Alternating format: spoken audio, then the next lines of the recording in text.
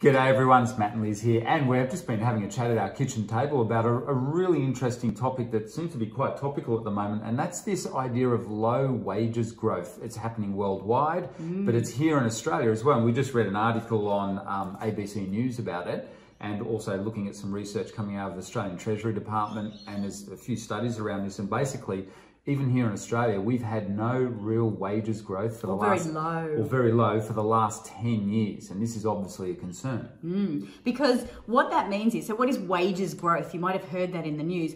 Um, basically, it means that what the amount that you're paid now in 2019 is not that much more than you would have been paid 10 years ago for the same job. And what's interesting is that um, the Treasury Department saying that's regardless of how much, like whether you're a high income owner, low income mm, earner, man, everyone. woman, uh, white collar, blue collar, it doesn't really matter. It's across all industries and everywhere that we've got this uh, money, not people not being able to get ahead because that basically means you can work really, really hard, but you can't get ahead. So your hours, I know we know a lot of our clients uh, start out with this, they're swapping time for money. So yeah. you can't possibly work harder now to get ahead. The working hard is not enough to cut it in this day and age. And it's interesting, um, we were, I've heard one of our favorite all-time investors or mentors yeah. or people that inspire us is Warren Buffett.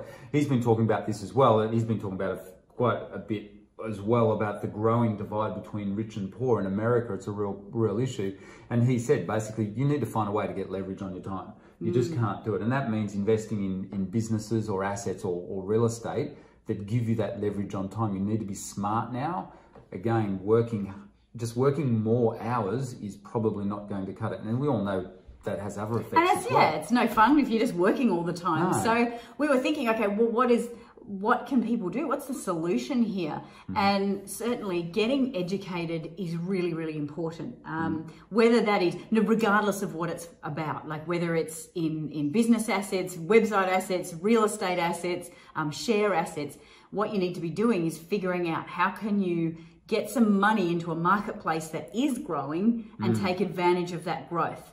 Um, well, as one of our mentors pointed out, he's a very high net worth mentor we have um, very successful businessman. And he said, Matt, look back over the last 10 years and he goes, think about all the, the successful business people that you guys know. And we obviously know a lot of very successful business people. And all of us have invested in either business, the share market, or real estate. Mm. And we've all done extremely well out of it. And we've been able to get leverage on our on our time and money mm. um, because the share market's gone gangbusters. Business so the question is, I guess, have so, you missed out? Like that's the problem. Well, what he was pointing out, he, he said, compare that to the people who haven't invested over the last 10 years into those leveraged assets.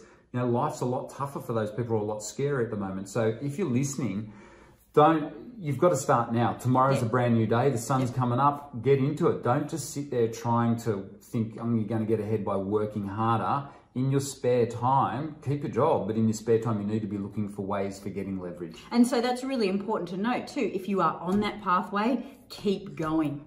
It's really, really worth it. And so I know when you first start out and you're trying to do the job and the yeah, investment strategy, it can be tough but it is definitely worth it. That is what is going to create you freedom going forward, especially in this marketplace, which is a strange one. I don't it think we've ever seen um, before in history. So I think that is what our, our, main thing that we came up with. You've got to do this. You've got to get yourself educated and, and find a way to invest in a market to grow some other assets as well as what you're doing as a paid job. So congratulations if you're doing that. Well done. Keep on it.